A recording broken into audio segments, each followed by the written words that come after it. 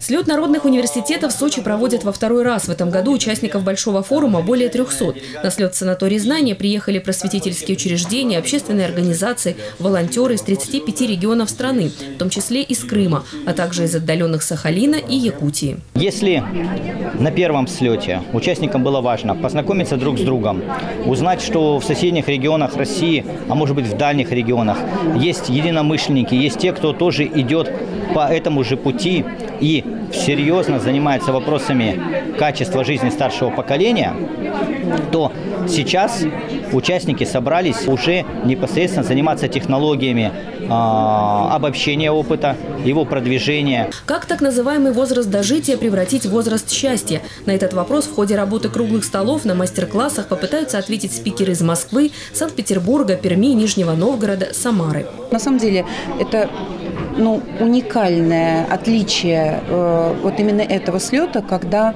в нем участвуют не только те, кто профессионально занимается этим, но те, кто еще и непосредственно является ну, благополучателями этого действия. Старикам тут место, говорит известный социолог Дмитрий Рогозин. Так называется его исследование. По мнению Рогозина, секрет долголетия – это востребованность не только в семье, но и в обществе. Это умение отдавать свою мудрость и богатый жизненный опыт. Весь этот год я вел разговоры со столетними. То есть моя целевая аудитория были люди плюс 100 плюс.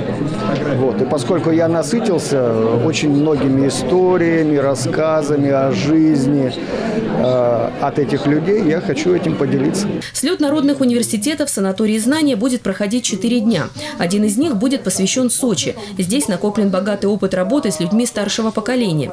Один из примеров – волонтеры серебряного возраста, число которых неуклонно растет. А это значит, востребованных и счастливых сочинцев пенсионного возраста на курорте становится все больше. Галина Моисеева, Ольга Десятого, Демид Даниловский, телекомпания ВКТ.